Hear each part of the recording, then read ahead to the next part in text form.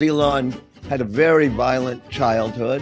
He was beaten up by bullies. He was socially awkward. Was that he would switch from one personality to another very quickly. You're, you're probably one of the best interviews I've had all week, so thank you. 지난 약 20년 동안 미국에서 가장 영향력 있는 전기를 뽑자면 두 권을 뽑을 수 있을 것 같습니다. 옛날에 돌아가신 분의 전기 중에서는 란 철나우의 해밀턴이라는 알렉산더 해밀턴의 전기를 뽑을 것 같아요. 많은 상을 이겼고 인기도 많았고 브로드웨이 뮤지컬로도 제작돼서 많은 미국인들에게 미국 역사를 보는 눈을 바꾸게 해준 그런 책이죠. 하지만 최근에 돌아가셨거나 우리와 동시대를 살고 있는 분의 전기 중에서는 월터 아이작슨의 스티브 잡스 전기가 있을 겁니다. 전 세계에서 선풍적인 인기를 끌었을 뿐 아니라 오늘날까지도 많이 회자되고 인용되는 책이죠. 일론 머스크는 수많은 논란의 중심에 있기 때문에 어떻게 보면 많은 소음에 가려져서 그 사람을 보기가 굉장히 어려운 위치에 있는 사람이라고 생각을 합니다. 일단 비즈니스 측면만 봐도 어떤 사람들은 스페이스X와 테슬라 같은 불가능해 보이는 사업을 성공시킨 어마어마한 천재다라고 얘기를 하는 반면에 어떤 사람들은 그 사람의 사업이 수익률 측면에서 다른 기업에 비해서 압도적으로 높지도 않고 또 보링 컴퍼니처럼 굉장히 허황된 꿈을 피치해가지고 기업 가치를 올리는 헉스터다라고 평가를 하기도 하고요. 비전에 대해서도 논란이 많죠.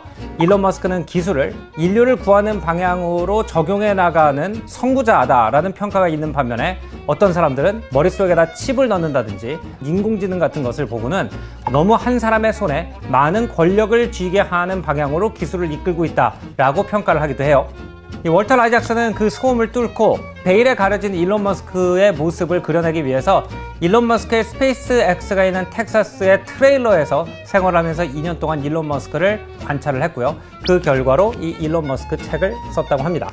저는 이 어려운 섭외를 통해서 줌 통화 연결에 성공을 했습니다. 그가 본 일론 머스크의 모습은 과연 어떤 모습이었는지 직접 물어보기로 했습니다.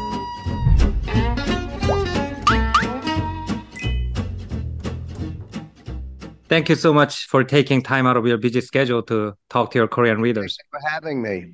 My personal opinion so far has been that he's the 21st century version of the 1950s and 1960s technoids who wanted to build perfect cities out of aluminum or plant scientifically. Guys like Buckminster Fuller who wanted to airdrop aluminum houses out of airplanes and build uh, American cities that way. Having spent two years with him in his day to day, what is your assessment finally? I don't agree with your assessment of being one of the visionaries of the 1950s who believe in cities dropped from the sky. I think he's an executor, a person who can engineer. And when I watched him, what he really cares about is not just envisioning a product, but executing how it would be engineered and then how it would be built. He cares as much about the factory and the assembly line as he does about the design of the product. So I think he's somebody who's already achieved totally historic things. That said, you're right. He's polarizing. He's a jerk. And so that's what makes the book interesting. Do the qualities that make him so driven, that get him to be so successful, and it's not just about money. I mean, these are the most important things in the world he's already done there is this uh, two image of Elon Musk that people have a hard time putting together. Like when he's in public in front of the camera, he's one of the most jovial, friendly. The bad way of looking at it, I guess, is attention-seeking person in the world.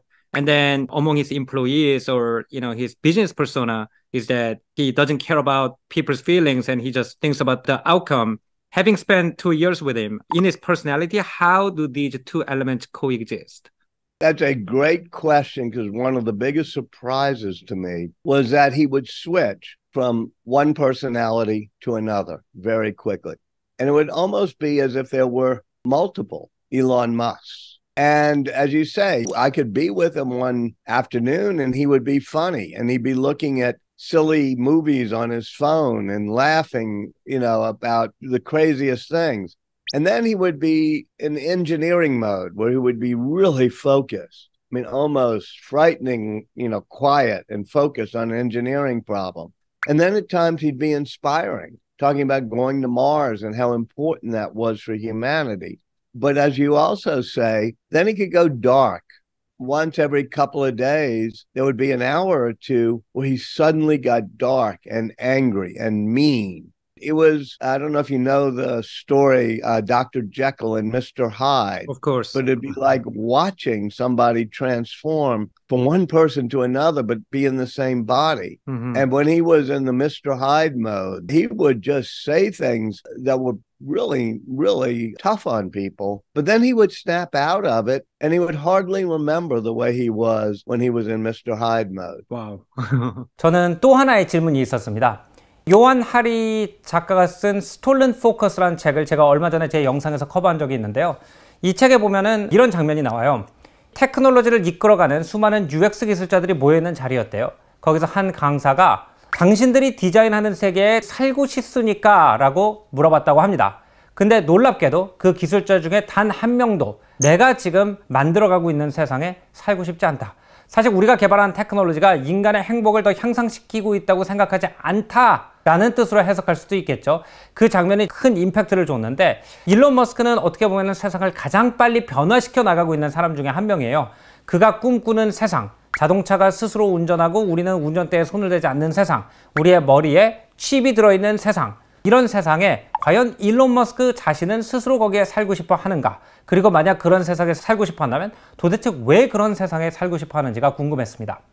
Uh, Let me ask you uh, do you have a Tesla? Uh, no, I don't. And do you have a gasoline powered car? Yes, I do. Do you want to live in a future of gasoline powered cars? No, but I really do enjoy that clutch and stick shift as amusement. But do you want to live in a world in which uh, people are driving gasoline powered cars or electric cars? Probably electric cars. I mean, if I look at the world Yeah. as a whole. yeah. And who do you think is moving us into that world best? Elon Musk, I would Mhm. say.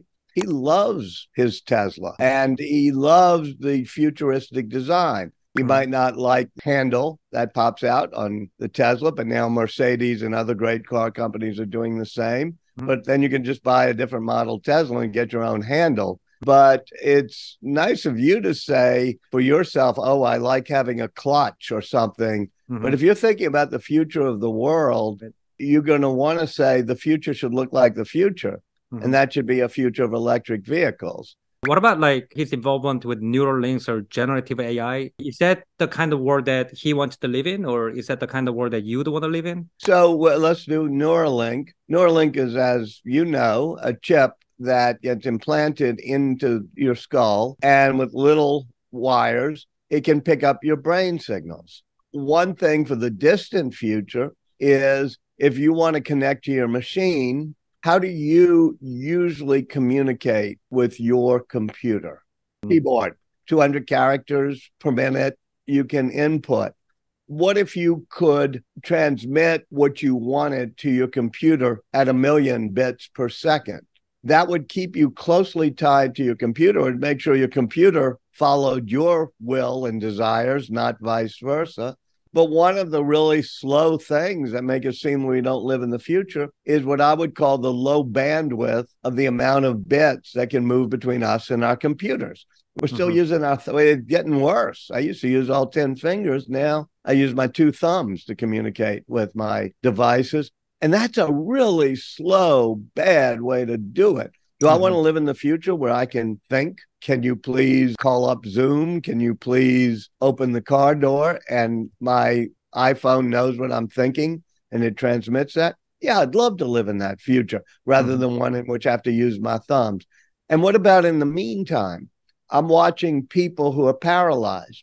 Some Mhm. of my friends, I'm getting older, they're getting Parkinson's disease or Lou Gehrig's disease. They can't use their fingers and their hands and their legs. They can't walk. If they could have a chip and they could walk and run and play tennis. So I think Neuralink will be very, very important. I read your Steve Jobs book, and I've also read a long time ago your book, The Innovators. And I see sort of a common thread between the innovators that you describe. Usually the drive to innovate come from darkness in the soul or some some wound from the past. And from what I understand, I'm really excited to dig more into the book, is that Elon Musk opened up a lot about his childhood to you during the two years that you spent with him. What are some of the, the wounds you think that's driving him? I think that in order to be a good innovator, you have to have a disruptive passion. Then you ask me about what about Elon's disruptive passion? how much does it come from childhood?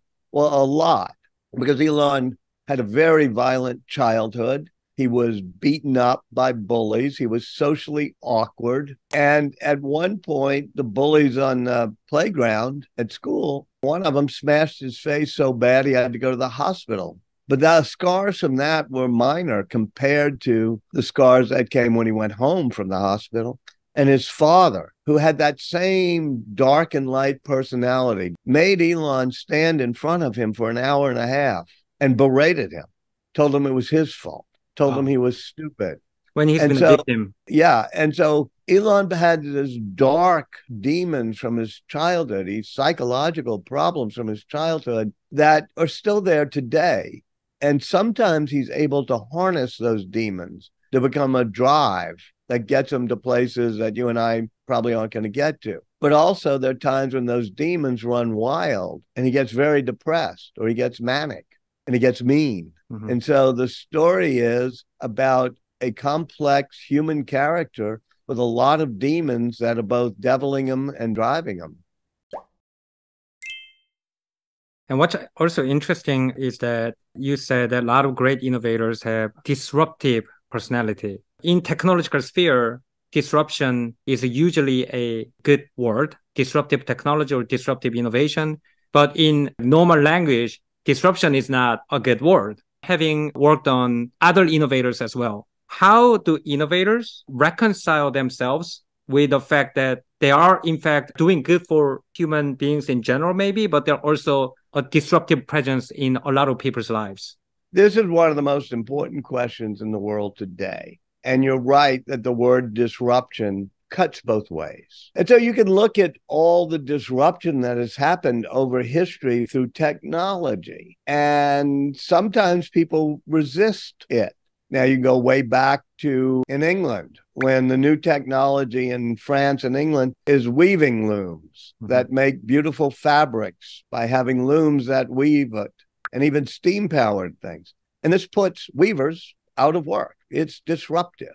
But we get sometimes nostalgic for the metronome that goes tick, tick, mm-hmm. tick in an analog fashion. And so I do think we have to see what is just us being too nostalgic for things like that we don't need, and what are the true values that we have to protect. So mm-hmm. I will get to the most disruptive thing, which is journalism and the spread of information has been disrupted.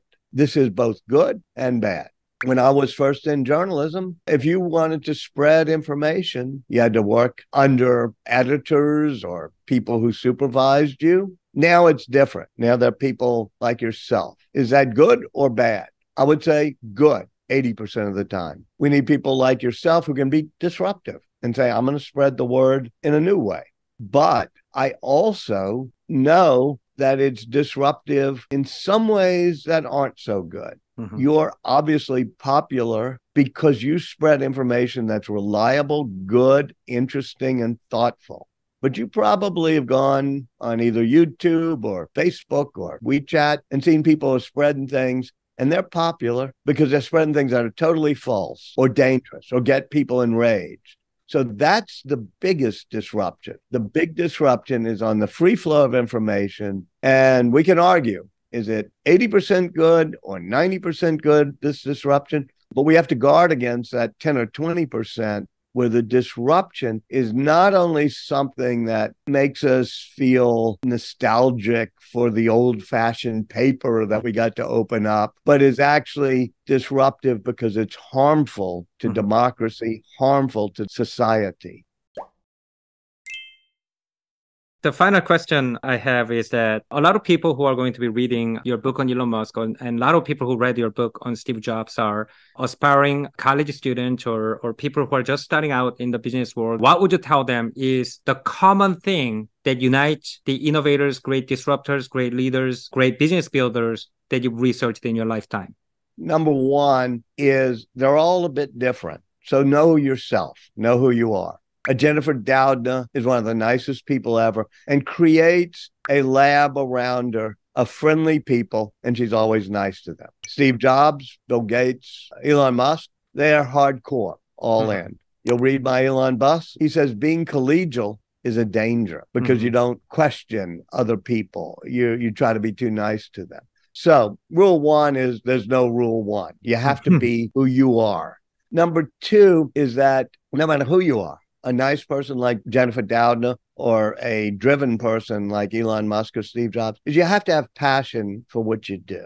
You have to really care, not about making money, but about making something that'll change the world. And then the money will follow. Elon Musk didn't do what he did because he thought it'd make him the richest person in the world. So you have to just believe in your vision. And then finally, I think it's important to be like Leonardo da Vinci, Ben Franklin, Steve Jobs, and be interested in everything. Don't just stay narrowly focused on, I'm going to be a good coder or I'm going to be a good hardware engineer.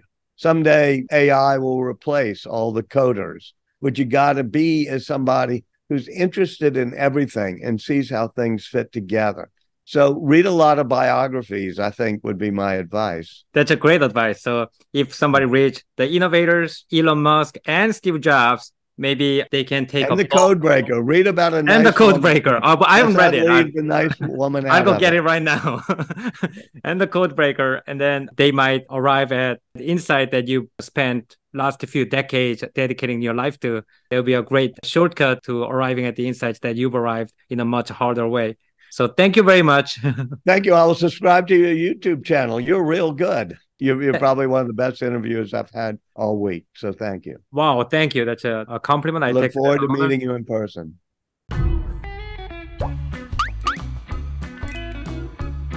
많은 사람들과 일론 머스크 얘기를 하면은 논쟁이 격앙되는 경우가 많이 있는데 그 이유에 대해서 생각을 해봤습니다. 일론 머스크라는 인물에 대한 평가는 어떤 면에서는 그 사람을 알고 평가하는 것이 아니라 기술 발전에 대한 말하는 사람의 의견과 더 관련이 깊다고 생각을 합니다. 기술이 너무 빨리 변하는 것이 인류의 위협이라고 생각하는 사람들은 대체로 일론 머스크에 대해서 부정적인 평가를 내릴 거고요. 그의 반면에서 인류가 지금 직면하고 있는 여러 문제를 빨리 헤쳐나가려면 우리가 가지고 있는 과학 기술을 더 빨리빨리 도입해가지고 많은 사람들한테 이렇게 사용해야 된다라고 생각하는 사람들은 일론 머스크를 좋게 보는 것 같아요. 그리고 이 인터뷰를 보면은 월터 아이작슨은 그런 시각에서 일론 머스크를 본다는 걸 알 수가 있었습니다. 어쨌든 일론 머스크가 우리 세상을 많이 바꿔가고 있다는 데는 변함이 없기 때문에 이 책을 가지고 일론 머스크에 대해서 어떻게 생각하는지에 대한 토론을 통해서도 우리가 미래의 세상을 어떻게 구상할 건지를 찾아볼 수 있다는 생각이 들었습니다. 오늘 조승현의 탐구 생활은 여기서 마무리하고요. 다음번엔 더 재밌는 역사문화 이야기로 찾아뵙겠습니다. 안녕히 계십시오.